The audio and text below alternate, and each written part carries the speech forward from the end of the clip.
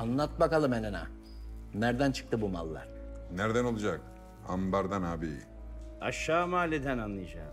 Vay anam vay. Konuş. Ben var gezmek İstanbul'da. Ben suçsuz olmak. Ben var deyince deli oluyorum ben. Kim öğretiyor size bu Türkçeyi? Ne istersen yaparım Nihat. Beni yakma herkese okurum.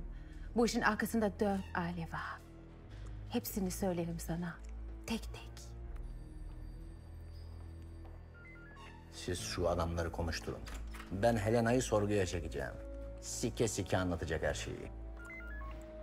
Biz de mi abi? Yok lan. Siz normal normal anlatın.